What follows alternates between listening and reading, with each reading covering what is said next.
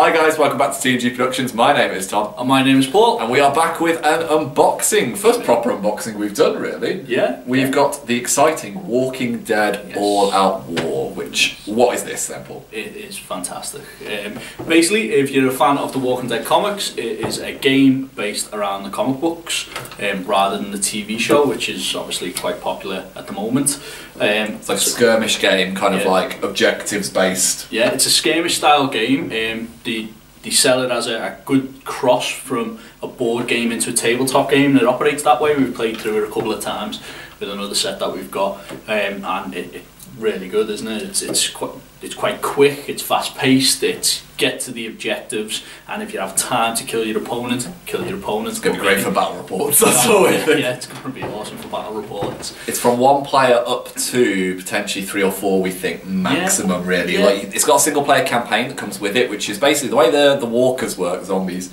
Um, they're moving terrain, aren't they? So you can antagonize them. Yeah, and if you're like near to them, they will kick off. So essentially, you can do a one player survival, but the way we're going to do it is small little war bands, and you have choices, don't you? You can wipe out the opponents and get the objectives, but that will cause mayhem, which will Yeah, will cause problems. spawn more zombies, and that Effectively, there's a threat tracker that operates throughout the whole game. So every time certain actions take place, the threat tracker increases. You start off on low threat, go to medium threat, go up to high threat, and then pretty much the game ends once the threat tracker ends. So there's there's a couple of different elements that can make the game end. and there's like event cards. So the higher the threat level is, the, the, the worse the situation. Yeah, yeah. The more that hits the fan, effectively. Basically, yeah. Um, so we're gonna uh, we're gonna unbox it. I can't make my Scouse knife joke now because we've already unboxed it. This Yeah, is, we've broken, broken the magic of television here. So we're just gonna put this to one side. Yes. And what we're gonna do is we're gonna uh, show you on camera what comes with it. But I hate these unboxings when you don't get to see like in detail. So as we're talking, I'm gonna superimpose um, some images that we've taken afterwards of the actual model, so you can see them up close because they're absolutely stunning. So Yeah. should we get to the miniatures first, mate? You've got those over there, haven't you? Yeah, so I've got them over this side. So There's about 20 or 30 walkers, aren't there? About 20-ish we counted? Yeah, I think about 20 walkers and then the rest are all characters. we Um, just, so uh, this is the this is the first tray that comes when you open the box. Um, you've got your characters and you've got walkers. They're all one piece plastic. Um, really nicely cast, actually, Yeah, really nice casts, really good detail. You've got some um, fan favourite characters in there. Obviously, you've got the likes of Rick, um, but you've got some. Obviously, we've got the Kickstarter set here. So you get Negan, So you get the Negan, pain machine. the big man Negan with uh, Lucille. Uh, you also get Abraham, uh, and you get a exclusive Kickstarter Michonne as well.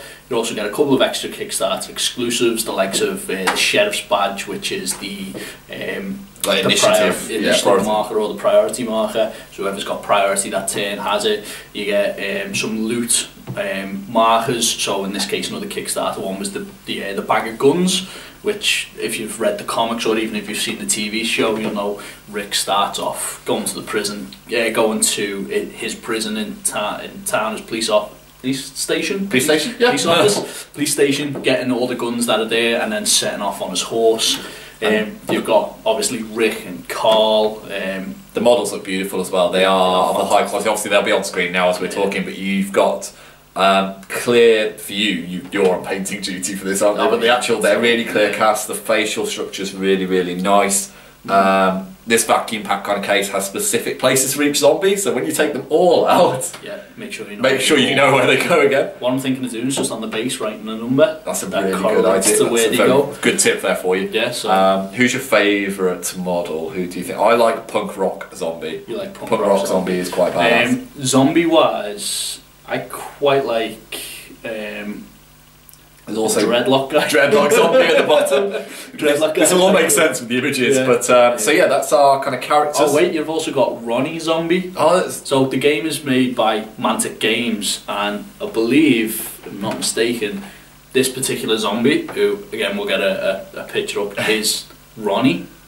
Mantic Games. I love how he's just boss. got like a broken ankle as he's catching broken ankle. Yeah.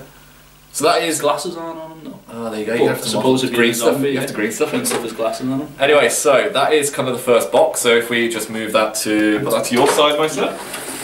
The next items that come with it uh, beneath are, first of all, a lovely Walking Dead uh, kind of dice pouch. There aren't many dice that come with this. Is kind of QVC. There aren't many dice that come with this actually, so it's really useful. Nice little small dice pouch. Yeah. And then I'll just take the plastic covering off, which is where everything will fall out now. Yeah. But You've got uh, scenery and character cards and equipment and all manner of bits and bobs. So again, we'll put uh, an image over the top of these individual. We'll just talk through them. So scenery-wise, Paul, we've got four lovely cars, which for you and me are the best bits of scenery we could have asked for with the DC Yes. and Marvel game and Yes, this on top. definitely. We've- Um, the, the, so the game's all 28 mil scale as well, so Yeah. the cars scale up really nicely. You've got um, there's four basically crashed vehicles effectively. Yeah. You use a scat- pieces of a scatter terrain, I suppose. Then you've got barricades, um, and you've also got loot markers. So rather than the, the counters, which we'll come on to in a moment, um, you've, actually got physical physical marker. um, 3D um, markers for them. Next up, you've got character cards, which again we'll zoom into. We go, go straight to Rick, shall we? You've got uh, really simple character cards. The way they kind of operate is you put them in the middle of where you're playing, and everything around the outside, like equipment,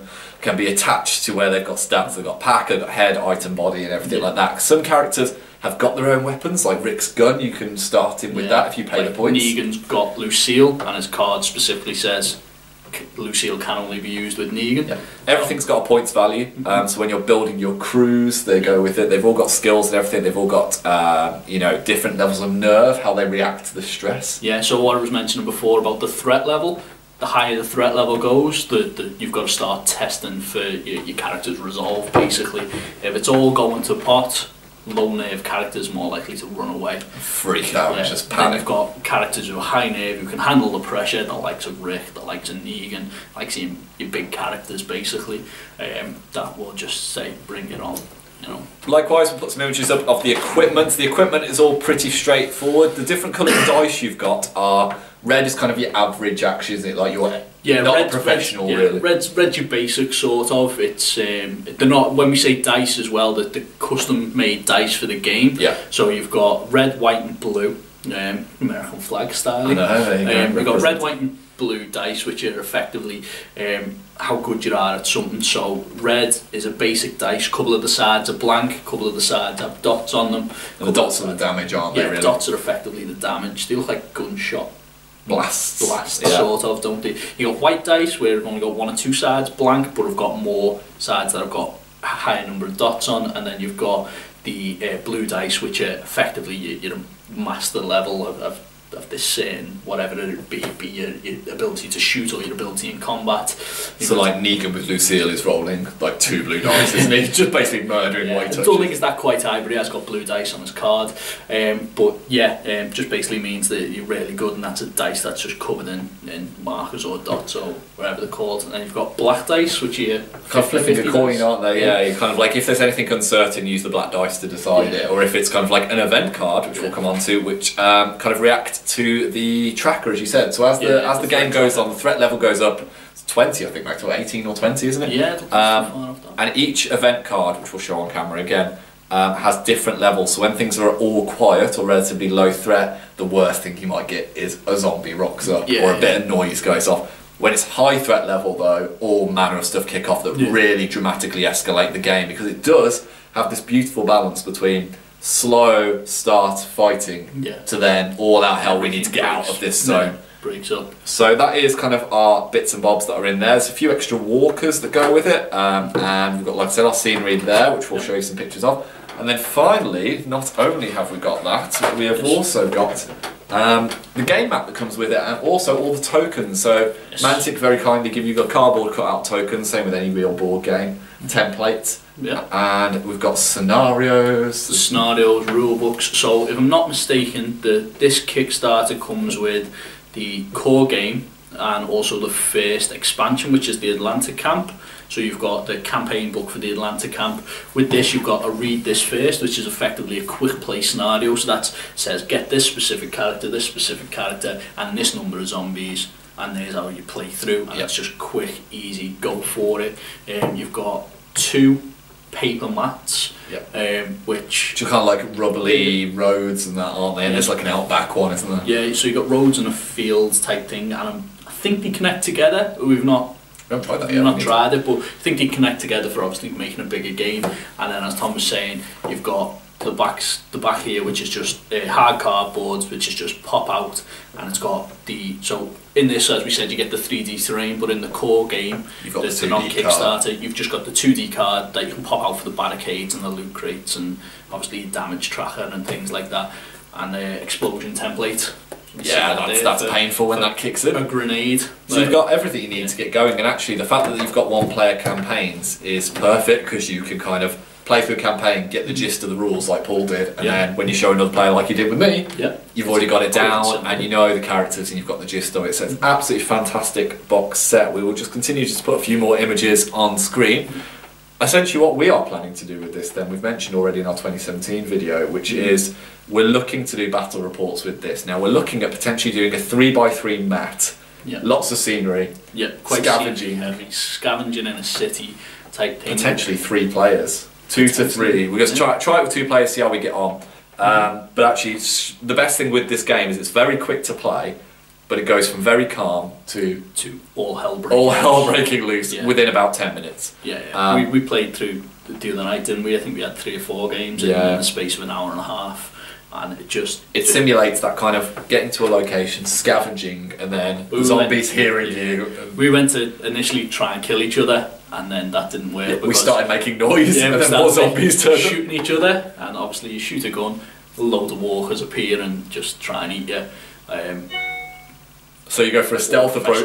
There we go. Ding inside. But if you go for a stealth approach, uh, the issue is you have to move very slowly and you're basically reacting to the walkers. And the problem with the stealth approach is as the tension goes up, because it does naturally just go up, Mhm. more walkers turn up. So if you go too slow, you just Yeah, get you know, penned get in by down, all yeah. of the walkers and get bogged Yeah. down in But combat. obviously, we haven't gone into the crew building side of it yet. We've used used basic stuff, so there's there's characters that can calm the threat level and you know just basically say to everyone, look, chill out. yeah, people." Rick can just roll the dice and just kind of like Yeah. lower it by that many. Yeah. Um, But um, obviously, once we get get a full grasp around that playing uh, playing style as well, and we're doing the list build, and we'll, we'll move on to, to specific crews and equipment. we and have like that. foolishly signed ourselves up for yet another. Yes.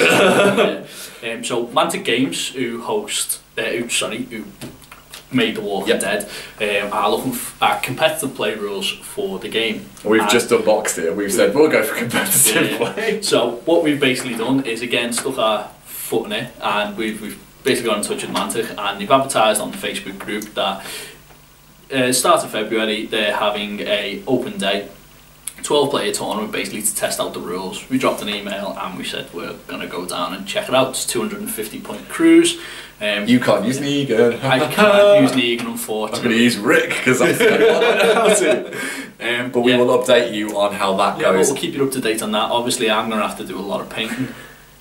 You're thinking about doing them in comic book style, though, aren't you? The kind of black and white with a bit of like, uh, what's the film with the red splash? Sin City. Sin City, yeah, uh, yeah, Sin City style, and um, but I'm gonna I'm gonna do a couple of tests on a couple of other miniatures first of all to see how it works. Because what, what I was thinking of doing is just um, basically priming them black, so you've got a base coat, and then airbrushing over white Dusting. just to pick out. So it kind of looks like that comic book effect. So it's sort of like a pre-shading effect, if anyone knows what, the, what that basically is. Um, so I was, I was toying with the idea of doing that. I'm going to do a couple of tests first because I'm not 100% sure how it would. This is why we have two boxes. this is why we've got a couple of boxes of this. But yeah, by the end of February, we should be moderately knowledgeable in the game because Yeah. we would have had to. So if you've got any questions about it and how it plays and crew building and that, do let us know. If you want us to do videos on it, potentially of, of crew ideas, we will. We're going to experiment with it for our battle reports. Yeah, definitely. Um, but that's The Walking Dead All Out Mhm. Cannot wait to play. We're probably going to go and play a game now, actually, to be honest, it's yeah, great. yeah. Well, we've opened the box, it'd be rude. It'd be rude not to. But um, yeah, if you want any more information, we'll put some photos on our Instagram and Twitter as always. If not, have a lovely day and we'll see you soon. See you soon. Bye. Bye.